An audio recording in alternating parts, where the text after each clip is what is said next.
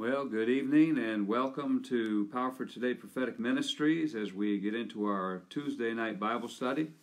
I want to welcome everybody, and uh, uh, we're going to be continuing. Uh, we've been looking at this uh, this whole idea that uh, we, we see in the scriptures that Jesus talked about the, the difference between being uh, a Pharisee and being a Christian, the difference between uh, having a form of godliness and and uh, having the power of God, being religious versus being spiritual, and uh, because we're seeing a lot of this in the church today, and uh, we need to understand this and uh, make sure that we're on the the right side. Amen. So let's uh, take a moment and pray before we get into the Word, and we just want to thank God tonight for the Holy Spirit who is our teacher. He is the Spirit of truth who searches all things and knows all things and is able to teach us all things. And uh, we need that knowledge. Father, in the name of Jesus Christ, we thank you tonight as we look into the Word of God. Lord, you will reveal the truth to us. Help us to rightly divide the Word. Lead us and guide us into all the truth. And anoint the Word to work in all its effectual power in us to produce the kingdom of God in each one of our lives as you grow us up spiritually into our head, Jesus Christ. Lord, we want to commit this time into your hands that you'll be glorified and everything said and done. That, Lord, you just open the word to our understanding. Help us to see more clearly and to understand more fully and to uh, receive the word of God by faith, uh, whereby it will produce your kingdom in each of our lives. we thank you, O God, for the truth that sets us free. We thank you, O God, for your word that. Uh, directs us in the way you'd have us to go and to become the people that you've called us to be. And we give you all the praise, the glory, the honor. In Jesus' name, amen and amen. Praise God. Well, I don't know about you, but I'm, I'm uh, glad that uh, uh, uh uh, Phil said that uh, spring's coming early. Amen. So I'm, uh, I'm, I'm looking to him to, to, stick to, to stick to his prediction and uh, we could use some early spring. We've had a little bit of snow here uh, uh, this past week, and uh, fortunately, it's uh, warmed up enough to, this last couple of days to melt it all. But but I'm ready for some spring. Amen. Anyway, let's get back into the Word of God. as we've been looking at the last couple of weeks, there's a difference between being religious and being spiritual. Jesus calls religion, uh, when, he, when he speaks to the Pharisees and the, and the, the, the Sadducees, uh, he speaks to them as religious people because they lacked the true character uh, to be spiritual. And uh, Jesus talked about how they have an outward form uh, of righteousness. They look good to men outwardly. They appear to be righteous to men, but the reality is when Jesus looks at them, when he sees their hearts, he sees that they're full of uncleanness, hypocrisy, and uh, uh, they, they, of lawlessness. And so uh, Jesus tells us if our righteousness does not exceed the righteousness of the scribes and the Pharisees, we will not get into the kingdom of God. And as we looked at with Paul, Paul uh, tells us that the problem is that uh, there are many in the church uh, that have a form of godliness, but they deny the power of God to actually make them uh, godly. And, and, and that's the, uh, uh the root of the problem. There's many people in the church today that either don't understand what Jesus did or they deny the power of God to actually do a work, effectual work, that's going to make them godly, righteous, holy in a real and practical way. And so, uh, as we've been looking through this, uh, we can see that Paul addresses this issue, Jesus addresses this issue. And uh, again, the, the call comes down to that one thing having a form of godliness, but denying the power. And uh, because of that, uh, the Bible tells us in Jude, he says, because these people have a form without the reality, it, what it comes down to is they're still being led or walking in the flesh. And Jude tells us that because of that, being led by the lust of the flesh, by, rather by the Spirit of God, that they are sensual persons, not having the Spirit of God. And again, it goes right along with Jesus was saying if your righteousness doesn't exceed their righteousness, uh, you're not going to get into the kingdom of God. Why? Because it takes a real righteousness and it takes uh, having the Holy Spirit to get you into the kingdom of God. So as we look through this, Paul and, and other scriptures tell us that the, the key is embracing the work of God in order to deliver us from the form and bring us into the substance uh, who is Christ. And Peter told us that uh, uh, the way that takes place is God's divine power gives us everything we need for uh, things that pertain to life and godliness. And that power is released through faith in the knowledge of Christ.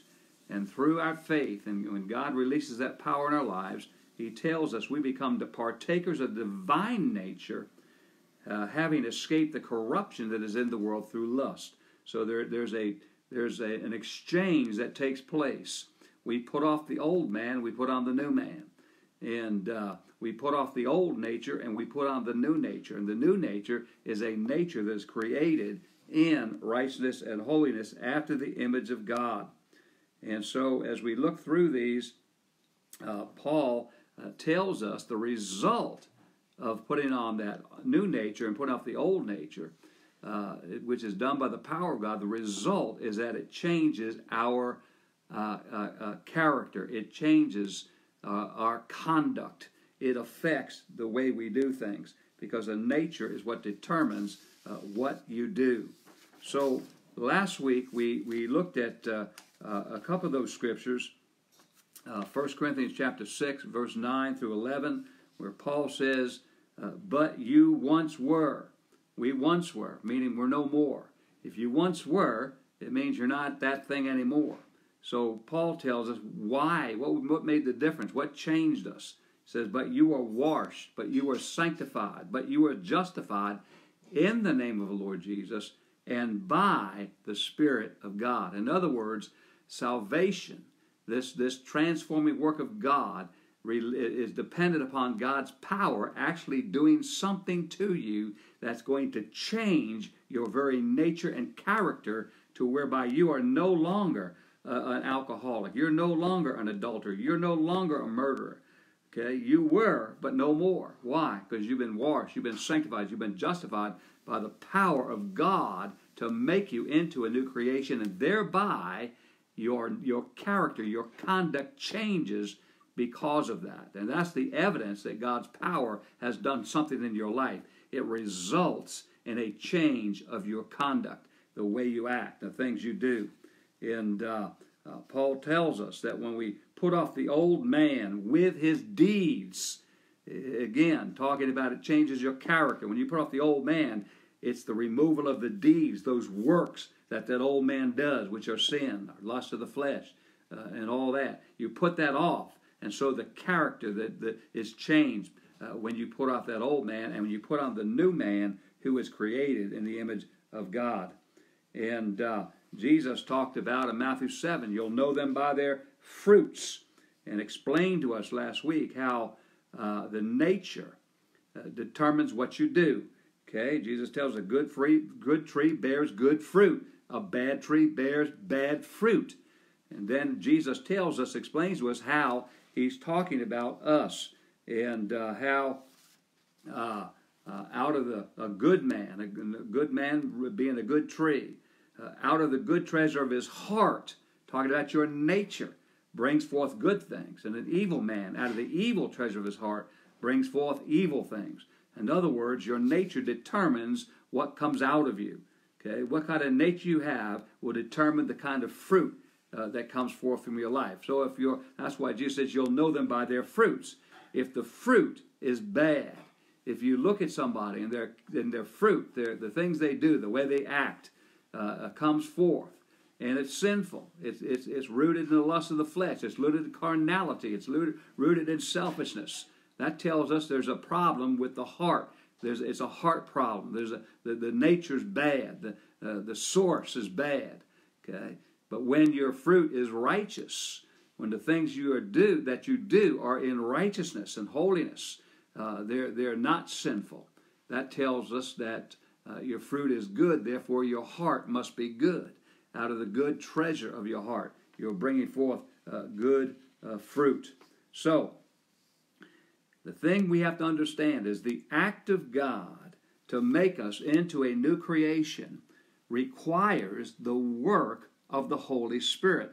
This is the difference right here. This is the crux. And, and, and really, this is the stumbling stone uh, in the church today uh, that people, people are, are, are, are, stumbling upon. They're, they're missing the truth here. They're not getting the very crux of the gospel. Uh, when, when God saves a person, it's not you just saying a prayer, then God declaring you uh, uh, saved, born again, uh, declaring you to be holy, declaring you to be right. God doesn't declare you to be something that you're not.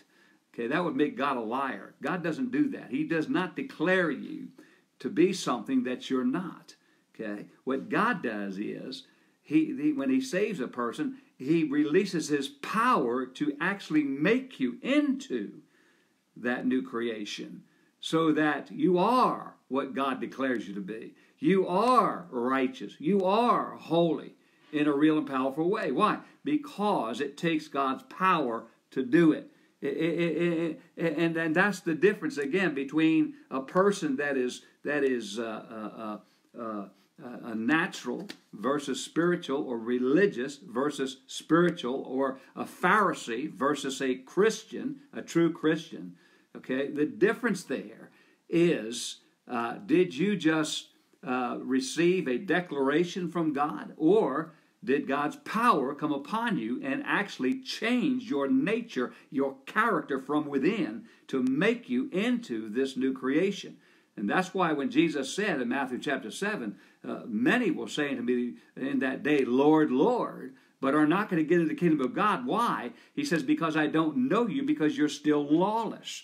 You can be doing good works, you can be doing uh, uh, uh, religious works, but that's not what's going to get you into heaven. Works don't get you into heaven. What gets you into heaven is holiness. Without holiness, nobody shall see God. And it takes God's power to actually make you holy. And that's what, me, what it means to be born again. Okay, you're born into this newness of life. Okay, as I said before, that, that there's nothing more than uh, uh, uh, than having a form of godliness but denying the power. Okay? And, that's what people do. When you reject the truth, you believe a lie. But basically, what you're saying when you when you deny the power of God, as Peter said, His divine power has given us everything we need for life and godliness to actually make us godly. When you deny that power, when you reject the truth, you're going to believe a lie. And the lie is that, Romans chapter 1, Paul tells us, the lie is that instead of worshiping God wholeheartedly and being sold out, surrendered to God in, your, in, in, in all of your being, you love God with all your heart, soul, and strength, you love your neighbors yourself, because you've been made into this new creation and, and God's given you a new heart that is filled with the love of Christ. Instead of that, what happens is when you only have a form of godliness, that means your heart is still corrupted by sin. So rather than worshiping God as creator, you worship self. You, you, you're, still caught up in that pride of self and that lust of flesh. And, and that's what separates the religious from the spiritual, the Pharisee from the Christian. And that's what Jesus was trying to explain in the Sermon on the Mount. That uh, uh, and, in, in um, uh, in uh, Matthew chapter 23, when he, when he was talking about the Pharisees and the scribes, that's what he was talking about. They look good outside. They know how to say the right things, know how to dress the dress. You know, they know how to tell others uh, what, what to do. But the reality was they were full of uncleanness and, and hypocrisy and uh, uh, lawlessness. And Jesus said, you got to clean the inside of the cup, and the outside will be clean as well. It's the inside that got to be taken care of. Why? Because it's the inside, it's the heart, it's the nature uh, that is the source of sin. Uh, Jesus tells us out of the heart comes sin. So if you don't cleanse the inside of the cup, then the outside is not going to be clean either. And again, you're going to have the righteousness of the scribes and Pharisees, which is a form without the reality. And as Jesus said, you'll not get into the kingdom of God. Now, we have to understand something. Justification, okay? Justification is what is what saves us. Justification is, is God's act uh, to make us just, to make us righteous. Okay? Justification is an act whereby God, uh, uh, uh, we, whereby we are declared to be righteous through our faith in Jesus Christ. Okay? On the one hand, it is the removal of sin and guilt and condemnation. Okay? So when, when God justifies us, we are delivered from uh, uh, uh, sin, we're forgiven, and uh, we are uh, delivered from guilt and condemnation, from the wrath of God. Okay? On the other hand, it is also the receiving of the righteousness of Christ. Okay?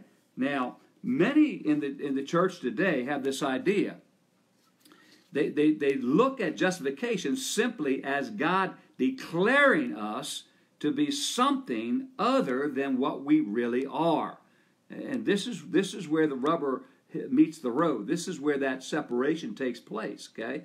Because it doesn't take any power for God to declare something if it's not going to affect anything, if it's not going to change anything. In other words, if God says you are righteous, but the reality is, like Jesus said, and the scribes and Pharisees, you're still full of sin and hypocrisy and lawlessness, then uh, what does that tell us? Well, there was no power involved. There was just a declaration that did not actually produce anything in you. Okay? And, and that's where a lot of people in the church today stand. That's, that's what they believe. Okay? And, and, and uh, they get this idea from the justification of Abraham. So if we go back, if you, you go back in, in the Old Testament and see when God uh, met Abraham, and Paul quotes this in Romans chapter 4, verse 3. Okay, look what, look what he says. What does the scripture say? This is Paul quoting uh, from the Old Testament about uh, Abraham, uh, God bringing Abraham to himself. Now, look what Paul says. What does the scripture say? Abraham believed God, and it was accounted to him for righteousness. So when Abraham believed God, the, the Bible tells us God accounted it to him for righteousness. He accounted his faith in God for righteousness. Okay? So for Abraham and all of the people of the, in the Old Testament, all the Israelites, all the people that came to God in the Old Testament, God declared them to be righteous by faith, even though, now listen, even though they were not actually righteous. Okay? They were not actually righteous. They still had sin within him. Okay? The inside, the cup, the, the inside was not cleansed yet. Okay? They were all sinful within, within their hearts, which is why uh, they had to maintain these uh, sacrificial rituals of shedding blood year after year. Why? Because they were never uh, really clean from sin. Okay? They were just uh, declared righteous by their faith in God. But that declaration did not change them, didn't change their heart, didn't change their nature. Okay? It, it was just a declaration of God uh, with no physical effect. Okay, so every year they had to, uh, in, in, fact, not just every year, but uh, they were continually having sacrifices. But once a year, the Day of Atonement, they had to come. All the Jews uh, had to come to Jerusalem and uh, on the Day of Atonement and uh, confess their sins, and, and all this blood had to be shed year after year after year. Okay, so in, in Romans, Paul uses Abraham to show us the, the only acceptable way to approach God is through faith. Okay, it's through faith. Nothing else is acceptable to God. Uh, that, that's why he tells us it's impossible to please God. Without faith, it is impossible to please God. That's the only way to approach God is through faith. That we believe Him for who He is and, and, and what He does. Okay? Nothing else is acceptable. Being good offering sacrifices, uh, keeping spiritual rituals, obeying commandments, doing good works uh, uh, will not get you to God. You, you, that won't save you.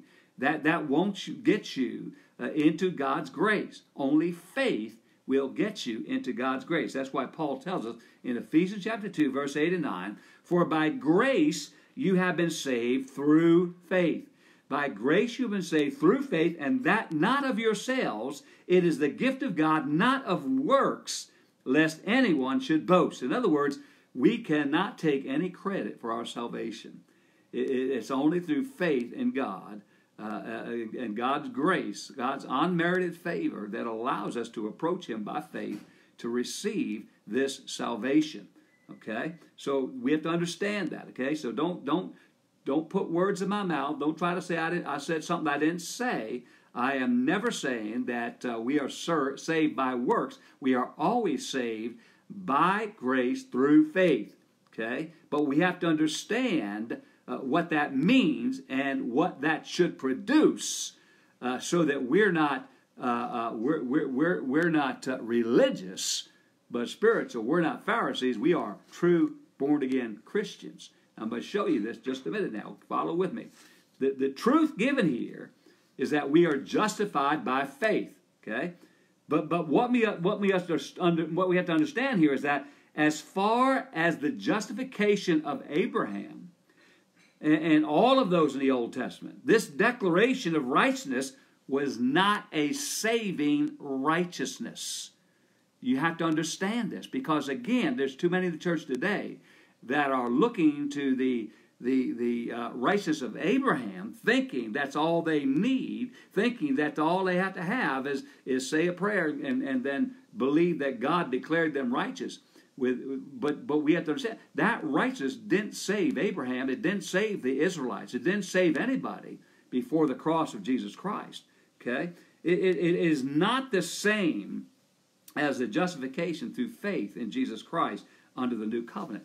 There's a difference between the faith of Abraham and the faith uh, in Jesus Christ under the new covenant. Okay? In Hebrews uh, chapter 11 and verse 13, look what he says.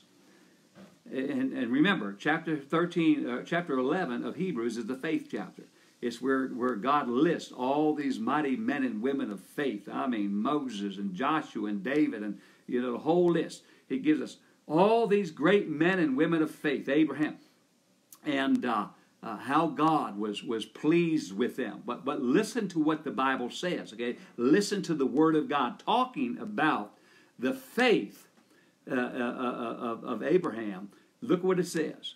These all died in faith, okay? They, they lived a life of faith and they died in faith. But look, he says, not having received the promises not having received the promises. Okay? They had the righteousness of faith. Just like Abraham, all of them, Abraham and all those Israel, they believed God and it was accounted to them for righteousness. But guess what? Not having received the promises, but having seen them afar off, were assured of them, embraced them, and confessed that they were strangers and pilgrims on the earth. In other words, they could see it in the future, but they couldn't have the promises for themselves at that time. Okay? In Hebrews chapter 11, 39 and verse 40, he tells exactly why. Why the faith of Abraham, why the righteousness of Abraham could not get them into heaven, could not save them. Look what he says. And all these, all these mighty men and women of God of faith, all of them, David, Abraham, Moses, you name them, all these mighty men, men and women of God of faith, they lived a life of faith. Having obtained a good testimony through faith, God was pleased with them. They received a good testimony from God by their faith, did not receive the promise. What was the promise? The promise was the giving of the Holy Spirit to impart eternal life. None of those before the cross of Christ could obtain the promise they could not receive the Holy Spirit, therefore, they could not obtain eternal life. This is the Word of God. We've got to get hold of it. We need a revelation of these things, okay? So he says, even though they lived a life of faith, they did not receive the promise, God having provided something better for us, that they should not be made perfect apart from us. That they should not be made perfect apart from us. Why couldn't they receive the promise of the Holy Spirit and eternal life? Because they had, didn't have any means to make them perfect. That word perfect actually means complete. They were missing the vital link to provide a justification that would produce a real and practical righteousness which would result in receiving the promise of God of the indwelling Holy Spirit bringing them eternal life. That's what he's talking about. The word perfect means complete. They could not be made complete. Why? They didn't have the means to make them complete. Okay? Although all of these great men and women of God had a good testimony of faith before God, they were not complete. They did not receive the finished work of, the, of, of, of God's saving grace. Okay? They lacked a crucial element necessary for salvation, which was the cleansing of sin from the heart to make them holy. They could not be made holy. They could not, they did not have any means to affect the inward man. That's why they had to go through those sacrifices year after year. That's why I had to shed blood and blood upon blood upon blood, and the sacrifices never, never stopped. I mean, a continual sacrifice. Every year they were reminded of their sin. Why? Because they had no means to cleanse the inside of the cup, to get to the root source of the sin within them that came through Adam's fall. That was the problem and so they were left in a condition of incompleteness concerning the saving work of God. So look what he tells in Hebrews chapter 10. I'm going to read from verse 1 through uh, 16. Listen to what the Bible tells us. Furthermore, every human priest stands at his altar of service ministering daily, every day. The priest every day would go into the temple. Every day the priest would minister offering the same sacrifices over and over again, killing bulls and, and sheep and goats and, and birds. I, I mean, every day they would go in and minister to the altar every day, daily, offering up sacrifices over and over and over. And look what he says, which never are able to strip from every side of us the sins that envelop us and take them away. All those sacrifices, all that blood was shed, all those animals that were killed could never take away our sin. It couldn't do it, it couldn't remove it. The blood of animals had no power to remove sin. It was merely a temporary covering, a temporary covering until God brought what was necessary to complete his saving work. So look what he says. Whereas, okay, so these priests were offering daily sacrifice, killing blood after killing animal after animal, shedding blood after blood, and it could never take sins away. Then he goes on to say, whereas this one, Christ, okay, th- those animals could not take away sin. Those priests could do nothing that would take away the people's sin. Whereas this one, Jesus Christ, after he had offered a single sacrifice for our sins, that shall avail for all time, sat down at the right hand of God. What's he saying? All those millions and millions and millions of animals that were killed to shed their blood could never take away one single ounce of sin from us. But Jesus Christ, we, we really need a revelation. I'm telling we need a revelation of this in the church. Like we, I'm telling you, this if you get a revelation of what he's talking about, it will set you free. It will set you free. All that blood could never take away sins, but this this this man, Jesus Christ, one offering one single sacrifice one single sacrifice was enough for all sin, for all time. And with just that one sacrifice, he sat down at the right hand of God. In other words, what, is, what this is telling us is the one sacrifice of Christ did what all the blood of those animals could never do. It took away all sin. and he sat down at the right hand of God. Why? Because he never needed to make another sacrifice again. Why? Because his sacrifice was sufficient to do exactly what needed to be done to make us complete, to make us perfect, to make us holy for all time. Okay? So look what he says, look what he goes on. Then to wait until his enemy should be made a footstool uh, beneath his feet.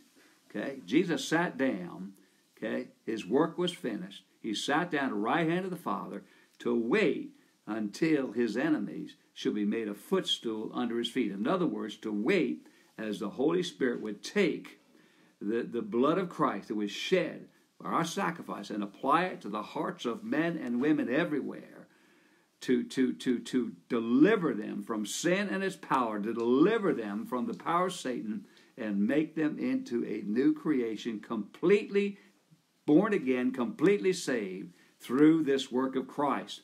Now look what he says. For by, verse 14, Hebrews 10 14, for by a single offering, by a single offering, he has forever completely cleansed and perfected those who are consecrated and made holy. What was the problem with Abraham's justification? Why couldn't it why couldn't they receive the promises? because it could not make them perfect. It couldn't complete the work of God. But Jesus, with one sacrifice, Jesus Christ, with his one sacrifice, with his blood, has forever completely cleansed and perfected, made complete those who are consecrated and made holy through the work of Christ. He says, and also the Holy Spirit adds his testimony to us in confirmation of this. And then he quotes from Jeremiah to explain exactly what happened when Jesus, in other words, he's telling us this is what Jeremiah was prophesying about the new covenant that was going to come to do what the law could not do, to do what the blood of bulls and goats could not do. Jesus was going to come to do what that could not do to take away our sin. So, so he tells us the Holy Spirit adds his testimony saying this this is the agreement, this is the covenant that I will set up and conclude with them after those days, says the Lord. I will imprint my law upon their hearts, and I will inscribe them on their minds, on their inmost thoughts and understanding. In other words, he's saying, through this redemptive work of Christ, he's going to remove the sin nature, and He's going to give us a new heart, a new spirit, and He's going to put His law within us. He's going to write it inside of us. Why? So that we, instead of being ruled by rules and regulations, we will be led by the Spirit of God. We will have a new nature, the law within us, that by nature we do what the law calls us to do. Okay? Under the new covenant of Jesus Christ, okay? Under the new covenant of Jesus Christ, we are still justified by faith. But the difference is that our justification is rooted in the blood of Jesus Christ, which is able to make us perfect or complete. In other words, it's a different justification than Abraham had because Abraham's justification could not make him complete, and therefore could not receive the promise of the Holy Spirit of eternal life. But the justification of Jesus Christ through our faith in Christ makes us complete, and thereby we receive the impartation of the Holy Spirit to come dwell within us and to give us eternal life. So in Acts chapter 13, verse 38 and 39, look what he says. Therefore, let it be known to you, brethren, that through this man, through Jesus Christ, is preached to you the remission of sins, removal, deliverance from sins. And by him, everyone who believes is justified from all things which you could not be justified by the law of Moses. Did, did, you, did you hear what he just said? Jesus came with a new gospel, with a new covenant. Jesus came with a better covenant that's got better promises. Jesus came to do what? To bring remission of sins. So that by Him, by Jesus Christ, everyone who believes, Everyone who puts their faith, believes in Jesus, who he is, and what he did, if you believe, okay, you are justified from everything that you could not be justified by the law of Moses. Why? Because the law could not make them righteous. The law could not remove the sin from their hearts. Unlike Abraham, our justification is through the redemption of Jesus Christ. This means the full work of Christ, whereby we are made into a new creation with a new nature, free from sin, through the washing of regeneration and the renewing of the Holy Spirit. Amen. The washing of regeneration and renewing of the Holy Spirit. That's why in 2 Corinthians chapter 5, verse 17, look what Paul says. Therefore, if anyone is in Christ, how do you get in Christ? You got to, through faith, by grace, through faith, you have to be born again. You have to be justified through your faith in Christ. Okay? Therefore, if anyone is in Christ, he is, he is a new creation. He is a new creation. God does not call you something you're not. Now look what Paul look what Paul says. What does it mean to be a new creation? Old things have passed away. Remember what Paul said. You put off the old man. You put off the nature of sin. You remove the sin. You put off the old man. Old things are passed away. The old man is passed away. Adam is passed away. Okay? And behold, all things have become new. Everything comes new. The old is gone, the new has come. That's what he's talking about.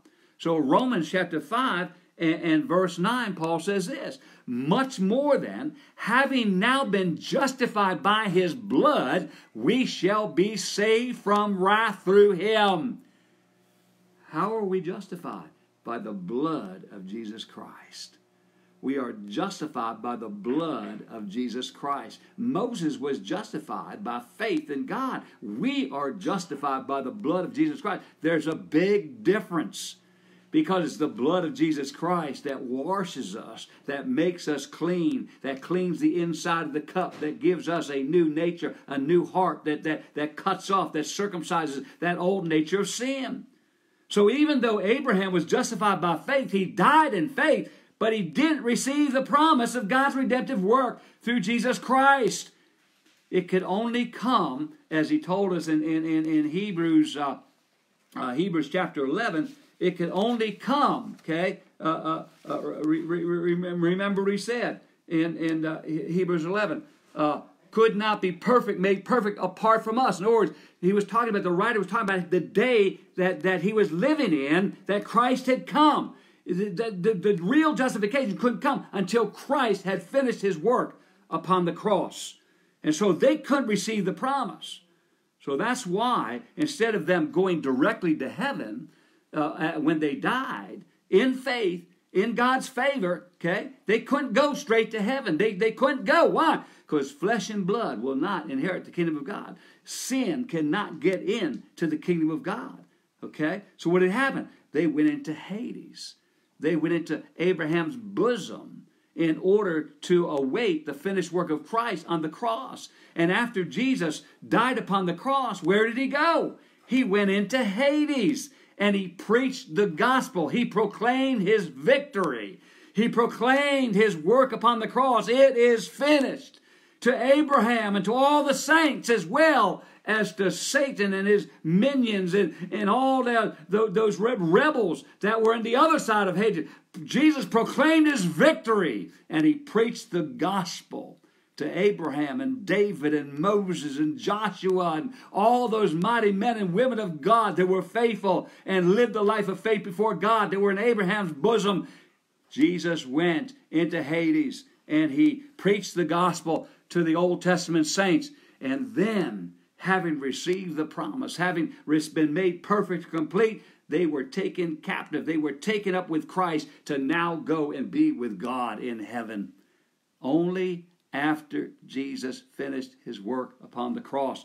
The completion of God's redemptive work required the blood of Jesus Christ because the blood of animals could not take away sin. The blood of Christ washes us from all sin, resulting in a change of our being in a real and practical way. Through the blood of Christ, we are delivered from sin and its power. We are delivered from Satan and his power. We are delivered from the law and its power. We become partakers of the divine nature of God, a nature of righteousness, a nature of holiness.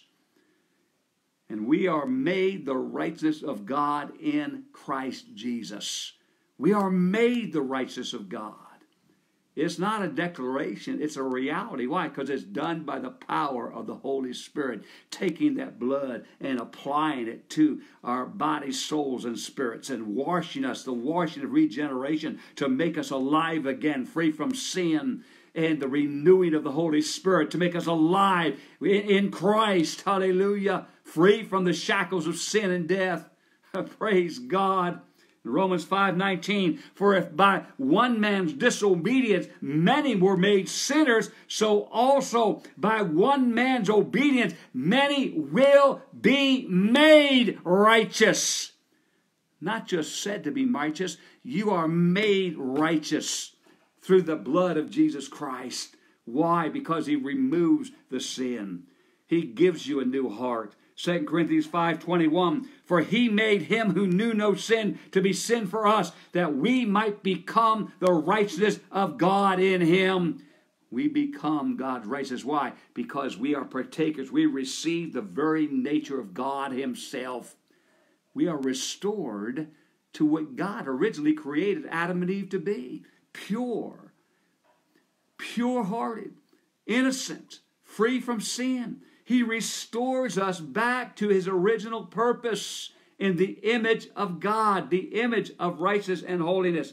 In Romans 6 4, therefore we were buried with him through baptism into death. He's not talking about water, he's talking about the baptism of the Holy Spirit. We are bapt- we were buried with him through baptism to death that just as Christ was raised from the dead by the glory of the Father, look at what he said. Listen to what he said. Just as Christ was raised, just as Christ, the same way that Christ was raised from the dead by the glory of the Father, in the same way, how was he raised up? In a real and practical way. He was raised up. God's power, the power of the Spirit of holiness, raised Christ from the dead. And now he's telling us in the same way, even so, we also should walk in newness of life. What's Paul saying? That this work of Christ, this work of redemption through faith in Jesus Christ and the blood of a lamb and the power of the Holy Spirit, it actually changes us into a new creation whereby the old man and his deeds, the old man and his works are removed so that now we come forth. We are raised up from the dead. We are raised up by the power of the Holy Spirit to walk, to live a brand new life we've never lived before, free from sin. We live, we walk a life of righteousness because of the work that Jesus did. Everything to do with our justification and salvation was accomplished on the cross of Calvary by, we, by means we were set free indeed by the Son of God. We are free indeed from sin, free indeed from the power of sin, free indeed from sin itself, resulting in our deliverance from sin, are being given a brand new heart, a brand new mind, a brand new spirit through faith in Jesus Christ. It's not based on a mere declaration of God, but rather on the actual working of God through His Holy Spirit, washing us, sanctifying us, justifying us by His mighty power and the blood of Jesus Christ. So we once were, but no more. Once were, no more. We're not a sinner.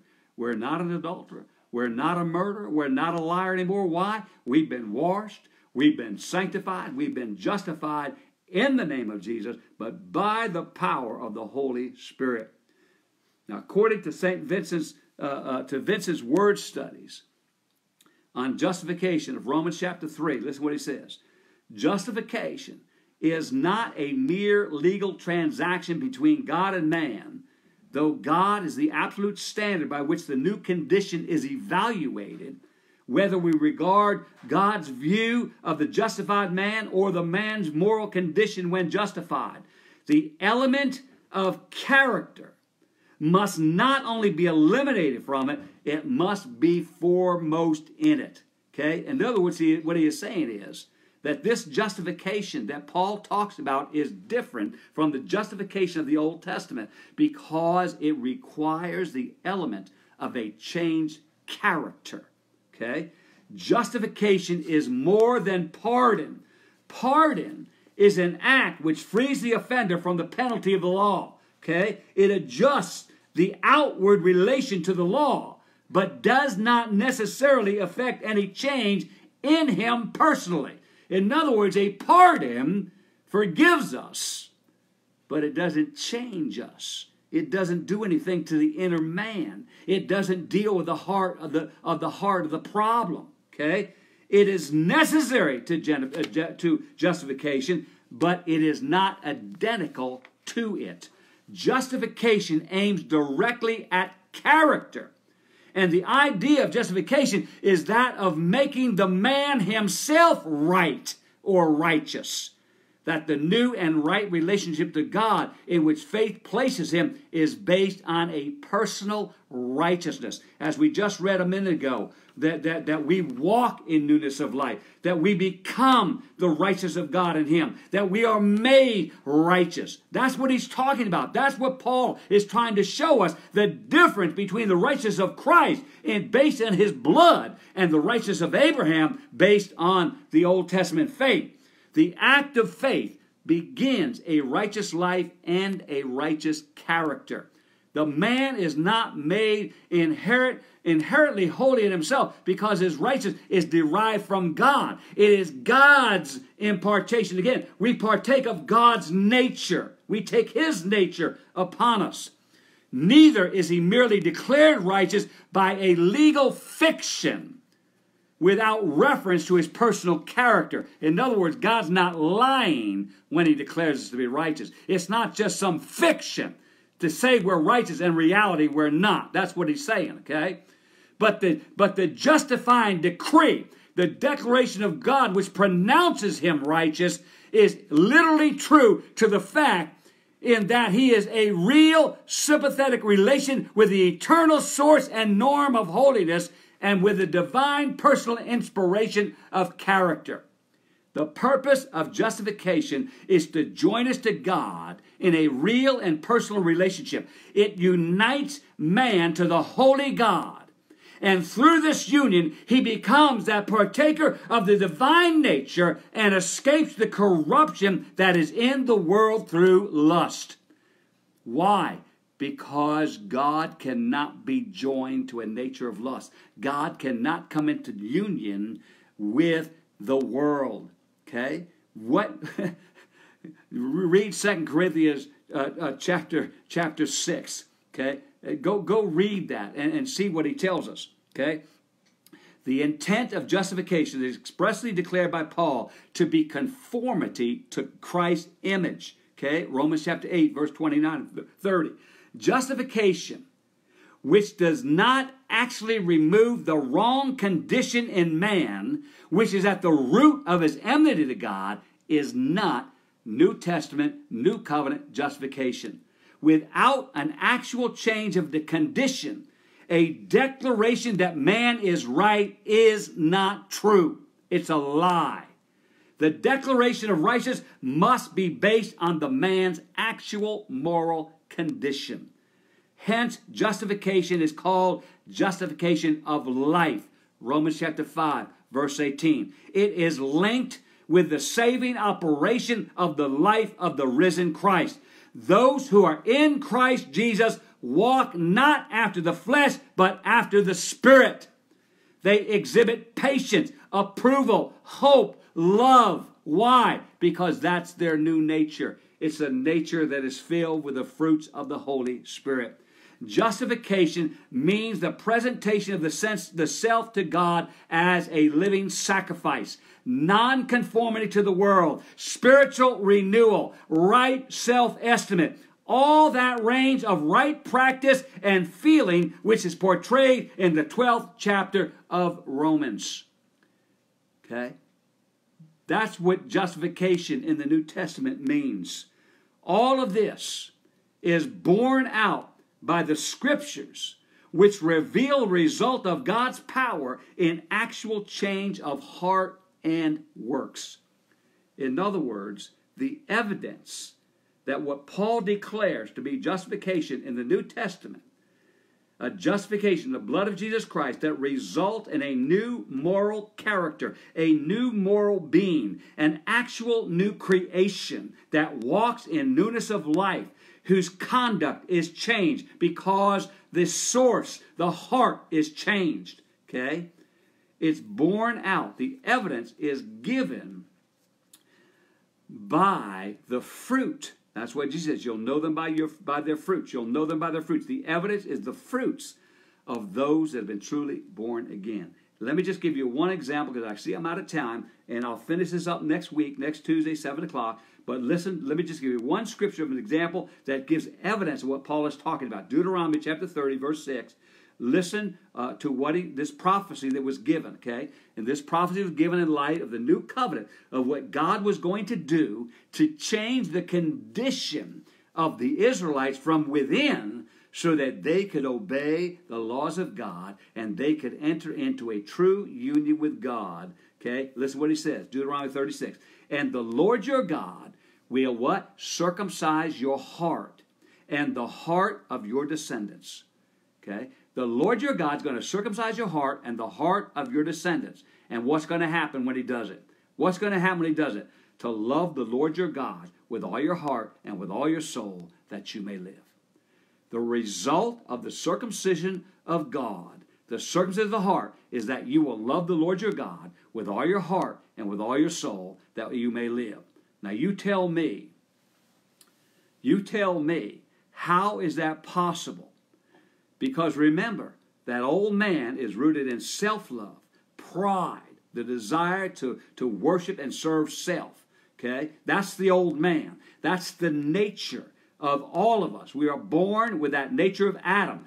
All of us, before our new birth, we have a self love. We don't love God. That's why the Bible tells us nobody seeks God. Every one of us are separated. Every one of us are sinners. We do not seek God. Why? It's not in us to do that. But he's telling us here that when God circumcises your heart, you will be able to love the Lord your God with all your heart, with all your soul, with all your strength. Why? Because something had to happen. So when God declares that He circumcised your heart, it means He actually came in the power of the Holy Spirit and actually cut out the heart of sin and gave you a new heart. So you can really love God with all your heart, soul, and strength, and love your neighbor like yourself. You can fulfill the commandments of Jesus Christ. The circumcision of God results in a change of heart. And the result, the evidence that the work has been done, the evidence, the fruit that this work has been done by God's power, not just some declaration, and we're still the same. No, a change of character, a change of nature, a change of action, a change of condition.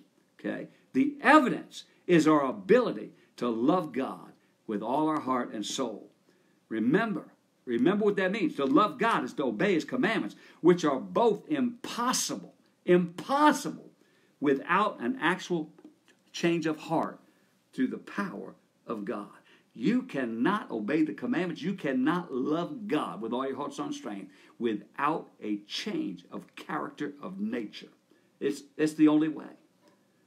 So the point is that everything we just told you about justification being a real and actual righteousness, that we are made the righteousness of God, that, that, that we become the righteousness of God in Christ Jesus, that this an actual change takes place. Okay? The evidence is that we walk in newness of life that this work that he does results in a change of actions. Why? because a tree is known by its fruit, and a good tree bears good fruit. So if you make a bad tree a good fruit, a good tree, it's going to bear good fruit, and it won't bear bad fruit anymore. This is the gospel of Jesus Christ. This is what separates the religious from the spiritual. It separates the Pharisee from the true Christian. It's what the, it separates these two, the form from the reality, from the substance. Okay, it, it, this this is it right here. It's the power of God that actually makes you into this new creation, so we can do the things that God has called us to do. And next week, join with me next week, 7 o'clock on Tuesday. I'm going to show you numbers of scriptures that show us that everything Jesus does through this redemptive work always results in a change of conduct, a change of character, a change in the way you live. And if there's no fruit, if there's no evidence, guess what? We need to get in the Word of God, get on our faces and cry out to God, go back to the cross, and we need to get a hold of the truth that's going to set you free. Because if there's no evidence, that means God's power didn't do anything. And if God's power didn't do anything, then you're still a Pharisee. You're still just a religious person without the Holy Spirit. And, and that's a dangerous place to be because, like Jesus said, in that day, many will say, Lord, Lord, in that day. And they're not getting in the kingdom of God. Why? Because they haven't cleaned the inside of the cup. They, they, haven't, they haven't received the truth that sets them free. They haven't embraced the blood of Jesus Christ that washes them so that they can declare, I once was, but no more. I've been washed. I, I've been sanctified. I've been justified, not just in the name of Jesus Christ, but by the Spirit of God. God's power came down. God's power entered inside of me. God's power came by way of the Holy Spirit, and He and He cleansed me. He sanctified me. He circumcised me. He crucified me. He made me into a new creation. That's the difference. That's the difference. And if your righteousness doesn't exceed the righteousness of the scribes and Pharisees, you can't get into the kingdom of God. That's the truth. That's the bottom line. Hallelujah. Let's pray. Father, in the name of Jesus Christ, I pray that you would open the eyes of every single person. God, that you would break through the darkness of understanding, break through the blindness, especially, oh God, those that have denied the truth and believed the lie. Especially those, oh God, that have been that, that have gotten a form of godliness but deny the power of Jesus Christ to set them free. They, they don't believe in the power of the blood. God, I pray that you would open the eyes of their understanding, that you would convict them, Lord, that you would, that your Holy Spirit would come and illuminate them with the truth that will set them free. That, Lord God, you will draw them into your word, that they will abide in that word until they see, until they understand, until they grasp, until you bring them to a place to a complete surrender, a complete and total uh, uh, uh, uh, repentance and faith in Jesus Christ and what he did on that cross to bring about a justification that results in a transformed life so we can walk in the newness of life. God, I pray that none would perish but all come to repentance, that you would seek and save, Lord, those that, that are blinded to the truth and bring them into the reality of what your word says. Bring them into the reality of a justification that's going to change their life. In Jesus' name. In Jesus' name. Amen.